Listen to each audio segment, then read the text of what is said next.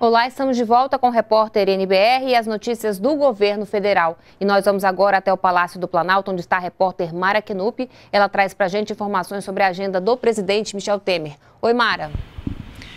Oi, Carla, é isso mesmo. Agora de manhã, aqui no Palácio do Planalto, o presidente Michel Temer se reúne com o presidente do Banco Central, Ilan Goldfarb, e, em seguida, com o ministro da Educação, Mendonça Filho. À tarde, Temer se reúne com o senador do Mato Grosso, José Medeiros. Bom, e em nota divulgada pela Secretaria de Comunicação da Presidência da República, o presidente Michel Temer concedeu a Ordem Nacional do Mérito à professora Ellen de Abreu Silva Batista, que morreu no incêndio na creche de Janaúba, em Minas Gerais. A homenagem é concedida a pessoas que deram exemplos de dedicação e serviço ao país e à sociedade brasileira. A professora Ellen Batista sacrificou a própria vida para salvar seus alunos do incêndio no ato de coragem que comoveu o país quando o vigilante Damião dos Santos provocou um incêndio na creche em Janaúba, tirando a própria vida e de mais dez pessoas, entre elas nove crianças e a professora. E pelas redes sociais, o presidente Michel Temer lamentou o ocorrido com as crianças de Janaúba e disse que o ato da professora impediu que a tragédia fosse maior e que não será esquecida pelos brasileiros é, ele expressou também solidariedade às famílias das vítimas. Carla. Obrigada, Mara, pela sua participação. Mais de 67 mil denúncias de violações de direitos humanos foram recebidas pela ouvidoria do governo federal no primeiro semestre de 2017. E a maior parte delas são violações contra crianças e adolescentes sinceridade e confiança dentro de casa. Essa é a receita da Tatiane para ter uma relação de transparência com os dois filhos. Mãe da Eduarda, de 7 anos, e do João, de 3, ela conta que fala abertamente com as crianças sobre assuntos como violência e abuso sexual.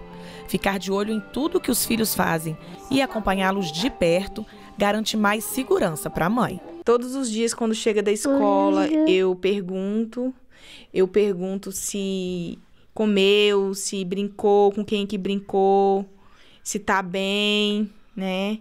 Eu olho o corpinho também, eu tenho esse, esse cuidado de estar tá sempre olhando. E se tiver alguma coisa de diferente, eu já pergunto o que, que foi, o que, que aconteceu. E a Eduarda ouve direitinho as orientações da mãe e já tem a lição na ponta da língua. Ela sempre fala para mim não aceitar doce de estranho, não conversar com estranhos, só com quem eu conheço da escola. E a Tatiane não está errada em ter esses cuidados. De acordo com dados da Ouvidoria Nacional de Direitos Humanos, só no primeiro semestre de 2017 foram feitas mais de 67 mil denúncias, sendo que 42 mil delas dizem respeito a crianças e adolescentes. Violência e abuso sexual estão entre as causas das denúncias. O governo garante que a melhor forma de combater esses crimes é denunciar sempre. Essas denúncias são encaminhadas para os órgãos competentes. Essas denúncias são recebidas, processadas, encaminhadas para a rede de proteção. O que, o que são a rede de, o que é a rede de proteção? É, são os conselhos tutelares, as delegacias especializadas e, os, e no Ministério Público nos estados. De acordo com a Ouvidoria Nacional de Direitos Humanos, o aumento das denúncias também é reflexo de uma maior conscientização a cada dia essa concepção, essa consciência de que se tem que se, tem que se denunciar, ela está crescendo ano a ano. E olha, em segundo lugar no balanço das denúncias estão as violações contra a pessoa idosa e em terceiro lugar contra as pessoas com deficiência. As denúncias podem ser feitas gratuitamente pelo Disque 100 e também pelo aplicativo Proteja Brasil para smartphones e tablets.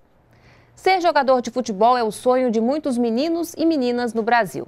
É verdade que a absoluta maioria deles não consegue concretizar esse desejo de infância.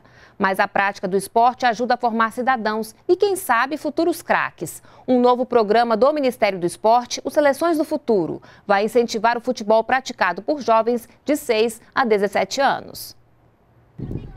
O sol forte não é impedimento para essa garotada praticar o esporte preferido deles. Das 14 modalidades oferecidas neste Centro Olímpico da Cidade Estrutural, em Brasília, o futebol é o mais disputado. David é atacante e a inspiração para fazer gols está na camisa que ele veste. Tenho um sonho de ser jogador e o Messi é meu ídolo. Yuri treina todos os dias no Centro Olímpico, que fica na frente da casa dele. E o menino tem um diferencial: joga em todas as posições. Jogo lateral, ponta. Porque tem que, para ser jogado de futebol, não pode saber só uma, uma posição, né? Tem que saber mais de três. Então, tô aí para aprendendo. Uma das inspirações para David e Yuri de que é possível ser um jogador profissional está bem pertinho deles. O gerente pedagógico do Centro Olímpico foi jogador profissional por 12 anos. Eu tive a oportunidade de disputar Campeonato Paulista, da primeira divisão, é, Libertadores da América, é, Campeonatos Brasileiros da primeira divisão, Sul-Americana e também acabei jogando fora do país, nos Emirados Árabes. Então para mim foi, foi muito bacana e o começo foi é, sonhando como toda criança. E o governo federal quer incentivar a prática do futebol de base em todo o país. Para isso, o Ministério do Esporte lançou o programa Seleções do Futuro, destinado a crianças e adolescentes de 6 a 17 anos, com prioridade para meninos e meninas da rede pública de ensino. Os Seleções do Futuro tem seis categorias divididas de acordo com a idade dos alunos. Cada núcleo pode ter, no máximo, 200 beneficiados. As atividades vão ser no contraturno escolar. Os alunos matriculados no programa vão fazer treinamentos no mínimo duas vezes por semana, e o tempo das atividades não pode ser inferior a 90 minutos. O projeto piloto foi anunciado pelo ministro Leonardo Pisciani. Inicialmente são 14 núcleos de 11 cidades de Minas Gerais, mas a meta é expandir para o resto do país. Publicamos em diário oficial o chamamento público para que as cidades de todo o Brasil possam apresentar as suas propostas e aderir a esse programa é, que tem o futebol, a maior paixão do nosso país, o maior das nossas modalidades esportivas, como, como carro-chefe, né, como objeto é, principal. Os Seleções do Futuro pode ajudar os adolescentes que sonham com uma carreira profissional no futebol, como o Daniel. A gente aprende muito aí com o professor. Vou realizar meu sonho ser jogador de futebol.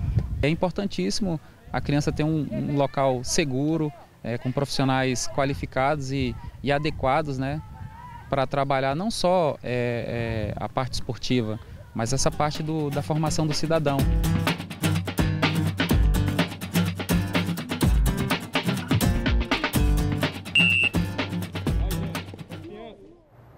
Nós ficamos por aqui. Você pode rever as reportagens no YouTube. E toda a nossa programação também está na página da NBR na internet. Continue com a gente na NBR, a TV do Governo Federal.